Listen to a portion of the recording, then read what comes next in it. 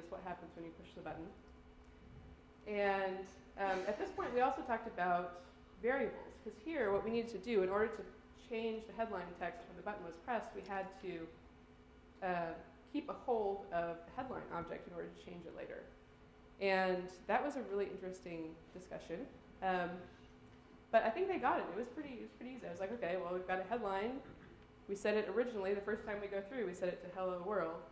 But then when you press the button, you need to still have that around. You need to still have a handle for that in order to be able to change it. Um, so then, you know, it adds a button, you can push the button, very exciting. So then we did, uh, the next step we did was we replaced the button with an event loop. And I thought that this would be really difficult for them to get because we had not really been thinking about um, UI applications of having an event loop. But actually, it, uh, it, uh, they picked it up pretty quickly. Um, so what we're doing here is we are setting these three uh, variables to the mouse uh, coordinates. So the first one tells you whether or not any buttons are pressed. Left and top tells you how far from the origin you are, um, where the mouse is. And so by default, this animate block, I believe, runs every like five or ten times a second. So every five or ten, every uh, so five or ten times a second, this animate block is being run. And what we're doing here is we're displaying what we're getting back from the mouse. And um, the hardest part about this was the string interpolation. Uh, and I've played around with different ways of doing it, right? So this is, is, is essentially a magic incantation. You're like, quotes, hash, bracket, at button. Okay, um, I'll take your word for it. And here's what it looks like when you run it. It's, uh, and when you move the mouse around, it actually it updates the, the numbers at the top, right? Um,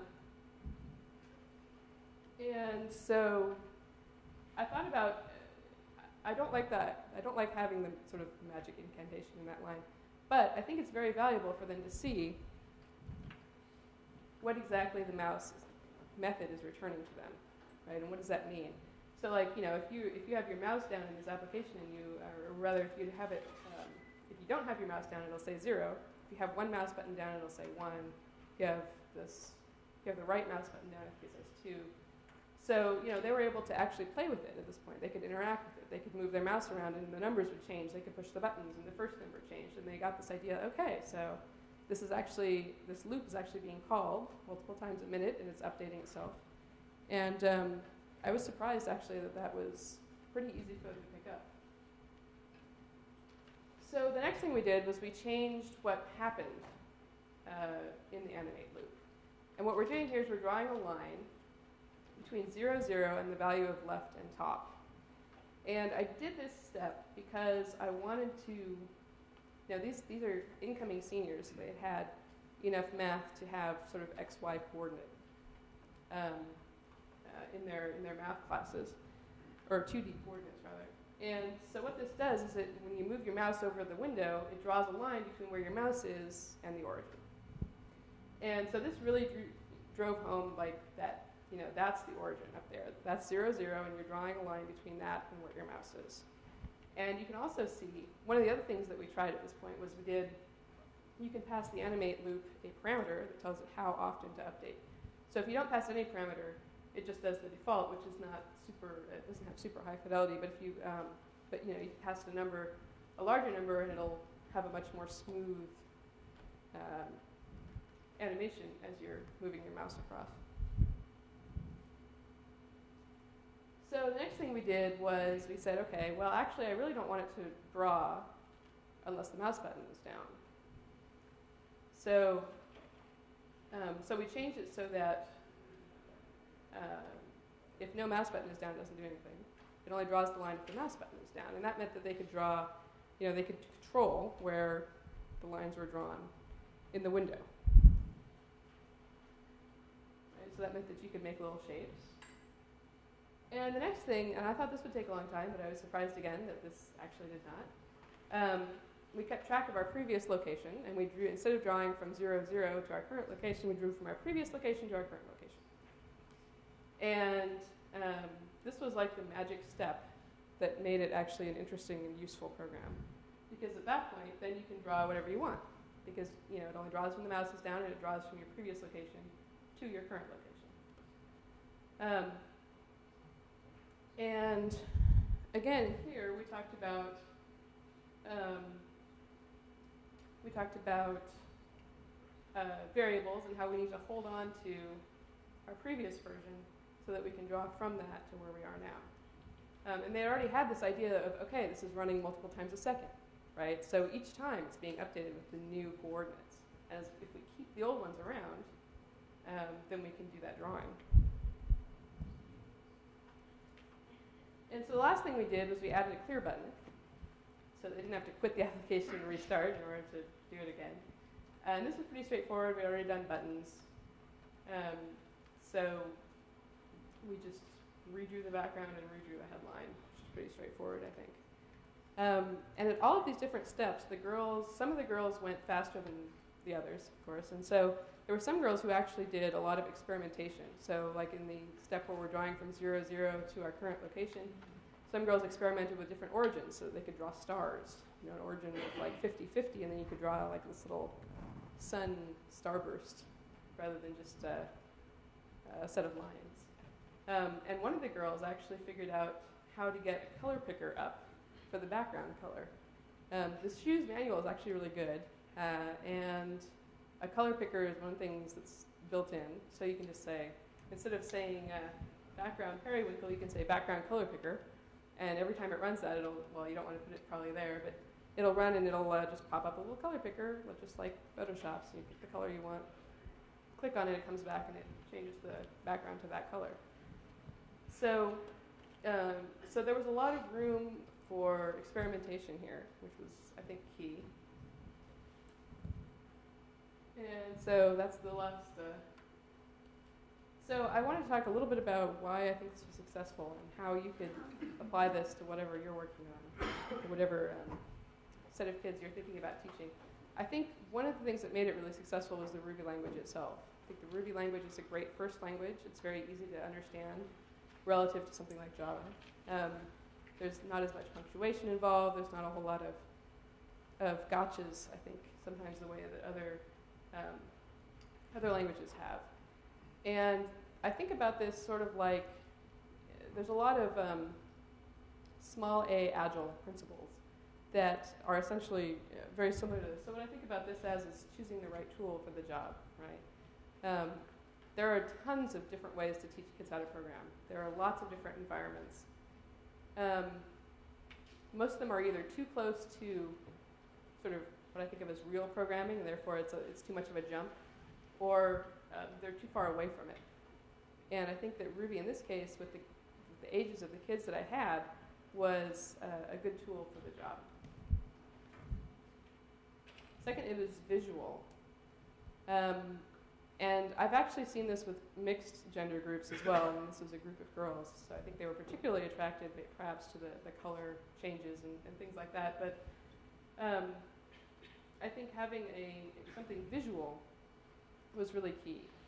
Um, we had talked about when I first when we first started the class. I talked a little bit about okay, what is Ruby? Why would you want to use it? And we talked about okay, what's a web application? Who knows what a web application is? Nobody raised their hand. I'm like, okay, so who uses MySpace? They were like, everybody uses MySpace. So it was um, you know, they had this, and I was like, okay, so you could use Ruby to write something like MySpace. They were like, awesome, let's do that. I was like, but you can't do it in three hours. They were like, so I told them like, okay, next year if they give me a whole day, I'll try it. Um, maybe Sinatra. But uh, so, but I think that uh, having something visual and having, you know, having something that uh, you can see as you're working on it was key. And I think of that similarly as the way I think of frequent deployment, right? You're like, okay, we finished something, let's put it out there, let's see how it reacts, and, and being able to look at it and interact with it, um, rather than doing something like the Java class we had done where it was all like, let's write a postfix calculator, you know, I mean, it's, it's just not that exciting. Um, it's not, it's not as, it doesn't have that same like visceral feedback. Um, I, I broke it down into really small steps, and I know that each one kind of probably felt like, oh, that's all we're doing. We're just adding some attributes. But each step, you know, to a new programmer is kind of a big deal, right? Each step, is a, is a different uh, set of things that you're doing. Um, and so giving them things that were achievable and provided, again, the visual feedback of something changing uh, was key to keeping them off of Facebook. and I think about that the same way I think of short iterations, right? And especially that meant that I could do a bunch of visual stuff that I hadn't been planning to do. Because I was like, oh, okay, well, they love that. Let's do more of that. Um, and uh, so I think about that kind of the same way. And um, it was flexible. Again, similar idea, but the you know go in. You don't want to go in there with a set of like, okay, first we will learn this, and then we will learn that, and then we will learn this third thing, because you know each group of kids you get every time is going to be different.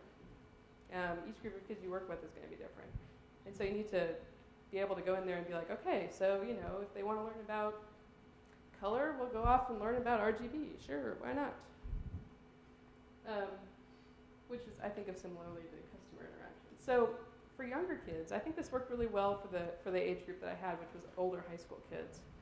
Um, for younger kids, Sarah Allen has done work teaching shoes with um, late elementary school slash middle school students. And again, they did a lot of stuff using colors. They did a lot of RGB stuff. Um, I think Sarah at one point brought in a flashlight with little gels so that we could you know, mix the colors together and see what it looked like. Um, and she's written a couple of blog posts about that uh, and about how she did uh, the classes with, I believe it was fourth and fifth graders. Um, in the non-Ruby realm, for even younger kids, there's actually nothing I could find that's based on Ruby that's good for like really young kids. But Scratch is a visual framework for programming from MIT, which is actually really awesome. You can learn some pretty sophisticated things, and it's all drag and drop. Um, and it's pretty easy. Yeah. Have you checked out Alice? Alice, I think, is good for older kids. I don't think it's good for really young kids. Um, the question was about Alice. Um, I like Alice, especially because it's so visual. Um, like the storytelling aspect is awesome. yeah, there's some really neat things about it. One of the things that I didn't like about it so much, I, I like to try and work with um, frameworks that are kind of like at least have some tangential relation to something you could actually use in the real world. Um, and I like Alice, but I think uh, I would prefer to use something that's based on Ruby if I can, in many ways. Yeah. And the other stuff that why build a uh, hack, hackety hack or something. I, I don't know this if, if, if he obtained to, to, to, to it works, but I think he was working something for small It was. Yeah, the question is about Hackety Hack. Um, I believe that Shoes was originally written as a basis for Hackety Hack. Like that was the reason Shoes was written. Hackety Hack was intended to be a, a, an environment for learning how to program, but it never actually quite got finished. I believe there are people working on it. Yeah. I, I tried Hackety Hack with my kids, and this was a couple of years back. I think Shoes came after it because Hackety Hack was like kind of a browser-based approach, and it just didn't Right. work really well, and we decided we needed a Ruby framework. Okay, maybe Shoes was going to be the basis for Hackety Hack 2.0 or For the next something. Hackety Hack, I don't Yeah. think they ever came back to it, so. Well, it was demoed at a conference in Pittsburgh in March, um, and then was indefinitely about to be released to everybody the next day, but never. never actually quite made it. It was, it was really awesome. I had support for like, like within 30 minutes, _why went from teaching kids how to program with a, what is it, like auto root? Uh, yeah, AutoHarp. And then like at the end of this class, this kid who was never programmed before has made this thing that plays the Mario song. Oh, cool. Using Bloopsaphone, which Yeah. is also built. Huh, Yeah. yeah. That's Um, cool. Another very sorry, I'm not going to dominate here. Go but ahead. Another very interesting thing that he did, which he, I, I think I would use in any classroom setting, was he had set up something where on the on the projector he had basically a four by four grid of squares, and each color was some random thing, but you from your from your HackNet program could connect to it and change programmatically change the colors on the screen, and everybody was affecting the same thing. Oh, that's So, you know, people could write programs like, you know, dominate the screen or combat somebody else or just make it all crazy colors Yeah. or whatever. It's like better than Facebook because now you're writing the like social network thing. Yeah. Right, Very interactive. But you're still talking to Yeah. the students, right? So So, so the question, just to repeat it for people that couldn't hear it, is that there was a, a when _why did his presentation in Pittsburgh. Is this what you're talking about? Mm-hmm. They had a four by four screen grid on, up on the screen, and, and the kids could all connect and change programmatically change the colors of each of the squares. And so then you could you could have fights where you could try and change the different colors faster than someone else. Um, and I think that if I were gonna, if I had more time, it would be awesome to try and do something with the social networking component because obviously they were, they were, they were super into that. Um, they all used Facebook, they all used MySpace, and they were all disappointed we couldn't write Facebook in three hours. Um, even with Rails, maybe not. But yeah, go ahead. Um, this is a question about very young children and learning some of the ideas behind computing. Have you done anything that didn't actually involve computers? Uh, so the question is for very young kids um, to learn the principles behind computers, whether I've done something that actually doesn't involve computers at all. Um, I haven't. I have a four-year-old daughter, and what? And obviously she's still learning to read. Um, she can pick out individual letters, but she can't actually read yet, so no programming for her at this point. But she does have a an XO laptop. If any of you are familiar with them, they were the OLPC one laptop per child. They're green. They got little antenna. She loves it.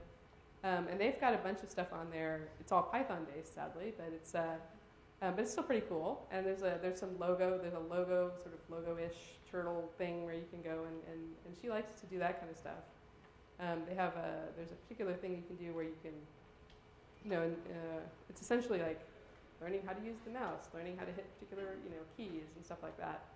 Um, so it's not really sort of the theoretical stuff behind computers.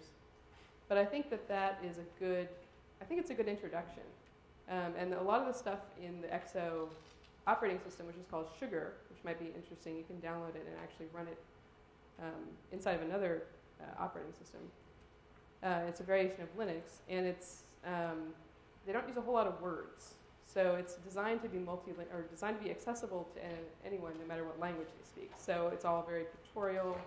Um, and my daughter, who is not reading yet, can go on her XO and can pick out the game she wants to play, which I don't even remember what it's called, but it's one of these games where you know, you, you've got this stack of colors and you need to click on the ones that are more than three and they'll disappear and it'll collapse the ones down. And your, your goal is to try and get rid of all of them by getting more than three of each color together.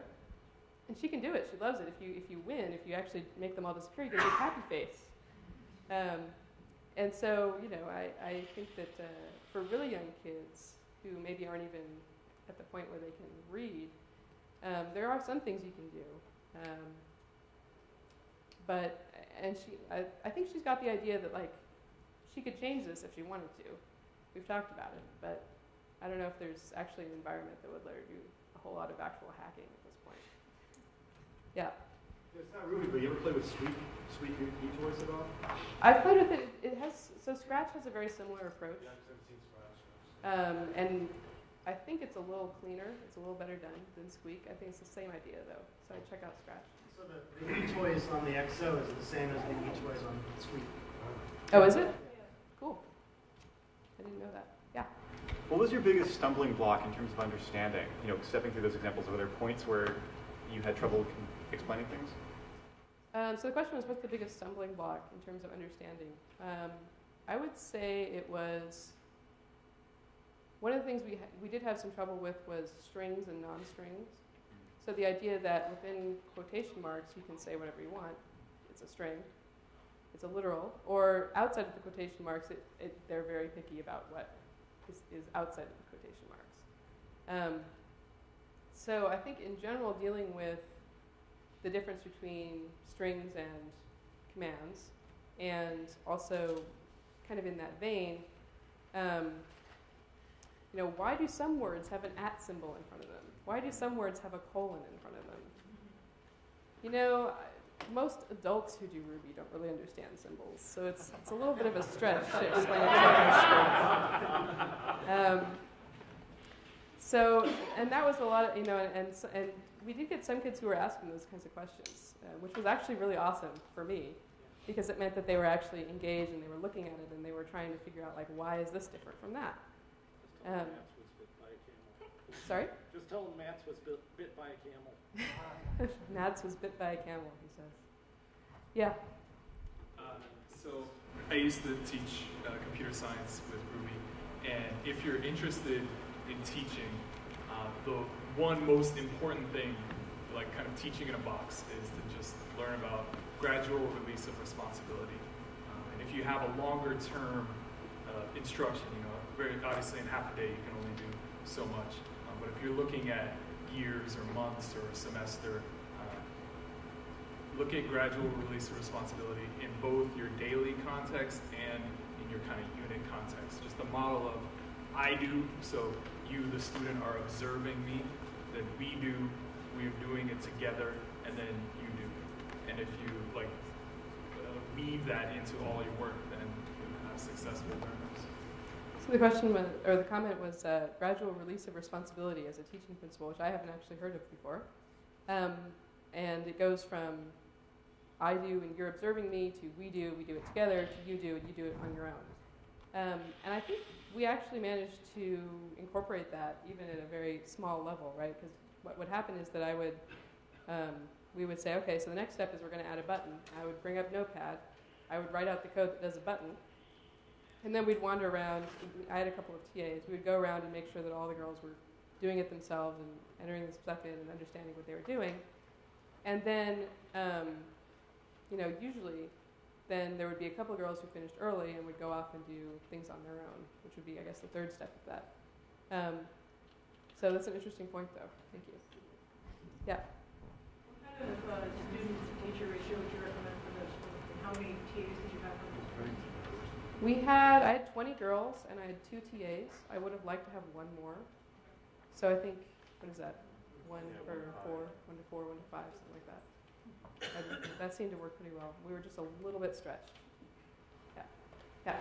Um, you said at the beginning of your talk that kind of your intent going into this was not necessarily to teach them how to be, you know, fantastic proficient programmers, but rather to get them very enthusiastic about the material so that they could go ahead and continue that. And I know as Ruby developers, we can give a talk at a code camp and get some .NET people really excited for 50 minutes, you know, 50 minutes, and they go home and you know forget about it. Right. How do you? What did you send? And I, I think you know, with a kid, you know, installing, you know, shoes may be a roadblock. You know, let alone just the initiative to do it. What do you send the kids home with? How do you maintain their excitement? And you know, I mean, obviously there are limitations to what you can do, but did, I mean, did you incorporate anything, or do you have any recommendations for continuing people's excitement beyond the scope of, of what you were able to teach them in that period?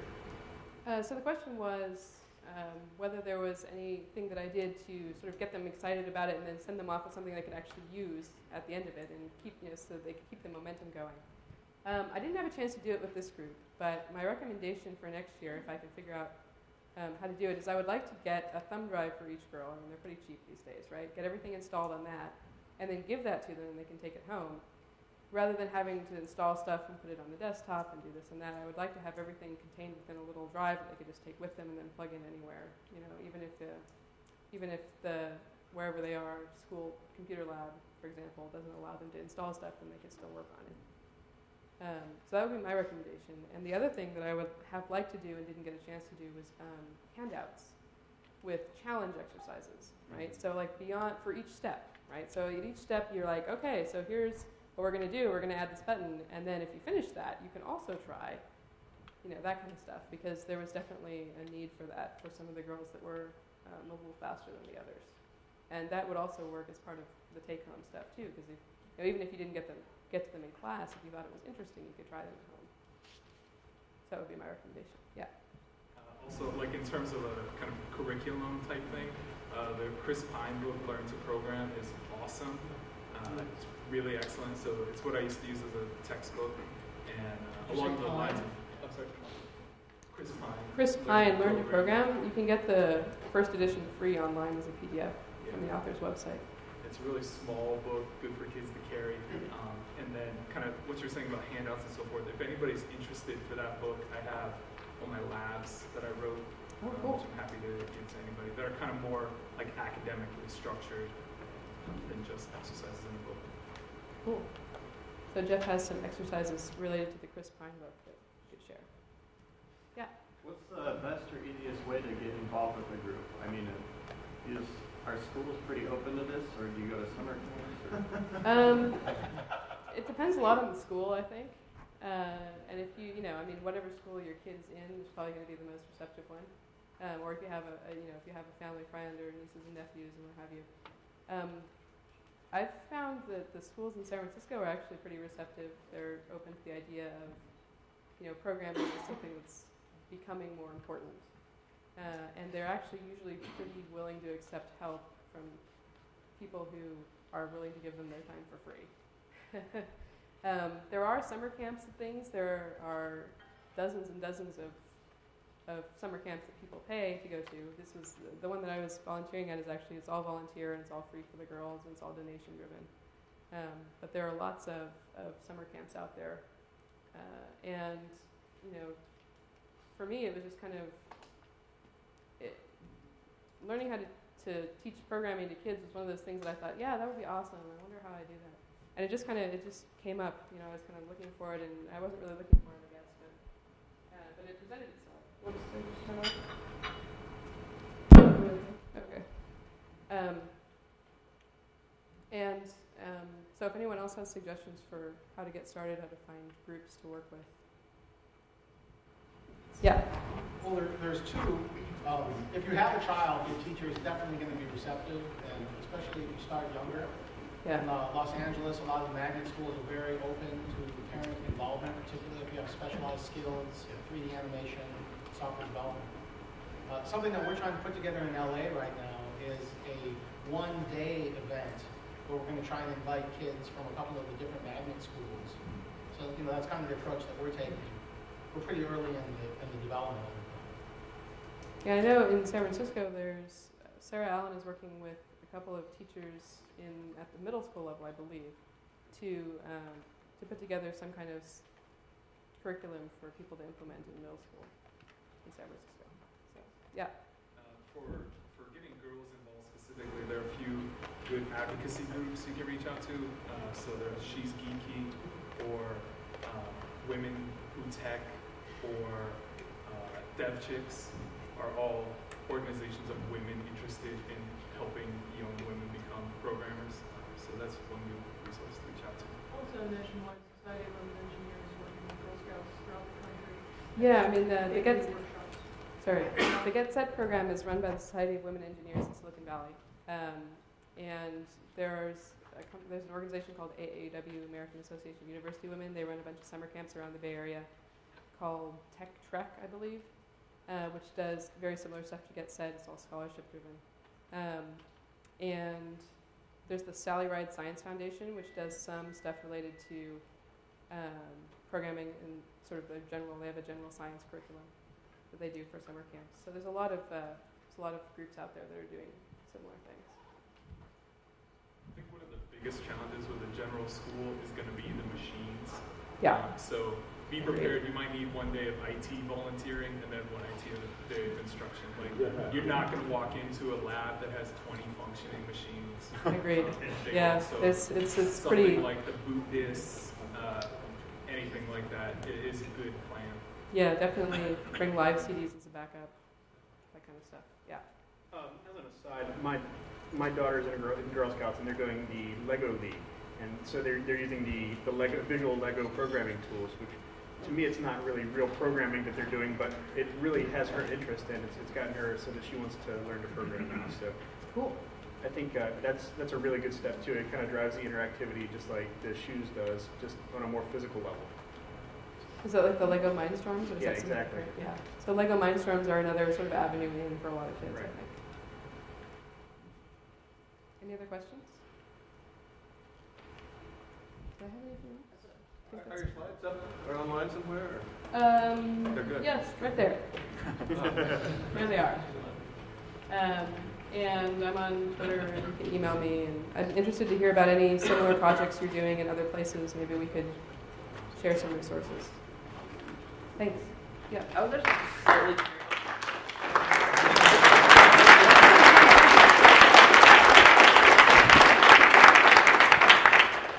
was just slightly curious why you went with string interpolation rather than string addition for the. Because those are numbers. So you can't do plus with a string Oh, you and have to number. You have to call